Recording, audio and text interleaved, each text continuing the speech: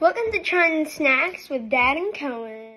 Hello, welcome back to another video. Today we are back with a, I think it's a limited edition Oreo. Yes, it is. It's not Star Wars, don't worry.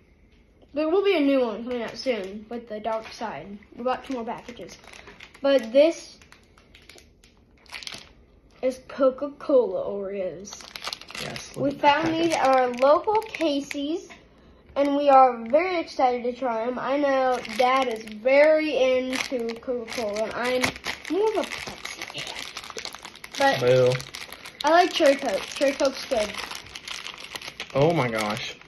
Look at that smell. I mean, look at it. Taste. Smell that. That is smells incredible. like smells, Smells like a um, soda. yeah, it smells like a soda. And it also has popping candy in it. Yep. And we also, Here's of yours. course, have some for our. We'll save that those for another time. But we got two packs because it's the only way that we found them. They have different designs. Show yours. I have Coca-Cola bubbles. Yeah. You see it? Well, it's the Coke's the word Coke. And mine is different. Mine are bottles. See? All right. I'm very Ready to try this? I guess. Lean in.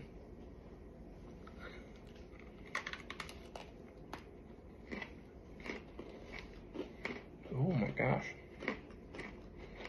Okay. Don't taste very cokey.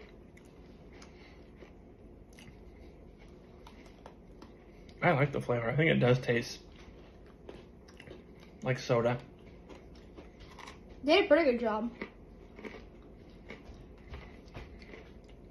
There's the popping candies. Pretty good.